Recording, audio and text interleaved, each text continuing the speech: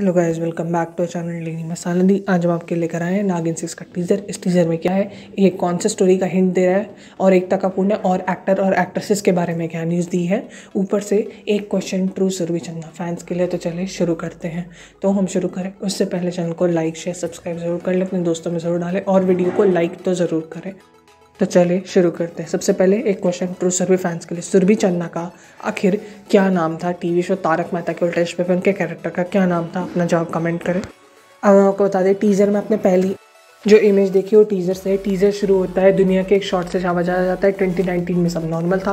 और 2020 में आया एक पैंडमिक तो देखने से पहले लगेगा कि ये जो करंट पैंडमिक है, उसकी बात कर रहा है। फिर अचानक से धरती से एक नागिन निकलती है और वो धरती के चारों तरफ़ घूम के लपेटती है और नरेटर बोलता है कि ये है वो पैंडमिक यानी कि नागिन सिक्स ग्लोबल जा रहा है, दुनिया की अलग अलग नागिनों के बारे में दिखाया जाएगा। और दिखाया जाएगा, लगता है कि नागिनें दुनिया पर कब्जा कर रही हैं।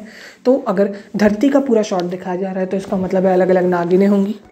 तो इसका मतलब है सुरभि के आने के चांसेस बहुत है, शरद के भी हो सकते हैं, क्योंकि अगर हर दुनिया से नागिन आएगी तो उसके दुश्मन में आएँगे। देखने से लग रहा है स्टोरी कि गिने जो है, पहले जैसे हर पिछले सीजन्स के फ्लैशबैक में दिखाया जाता था, दुनिया पर राज करती थी। लगता है वही दिखाया जाएगा कि नागिने वापस से दुनिया पर राज करने पर लॉटरी हम बता दें, एकता ने इस टीज़र के कैप्शन में लिखा हुआ उनके इंस्टाग्राम पेज पर कि अभी तक एक्टर एक्ट्रेस नहीं डिसाइड हुए तो आप अपना नाम दीजिए और हमने टीज़र का लिंक भी डिस्क्रिप्शन में डाल दिया, आप उनके पेज पर जाके देख सकते हैं। और आज के अपडेट में इतने, आप बताइए आप कितने एक्साइटेड है? कोई रिलीज़ डेट अभी तक नहीं है, हम बता दें बट कमिंग सून है इसका मतलब है, जब इस महीने के अंत तक या नेक्स्ट महीने के अंत तक आ जाएगा, आज की खबर वन सेकेंड इतना ही। Thanks for watching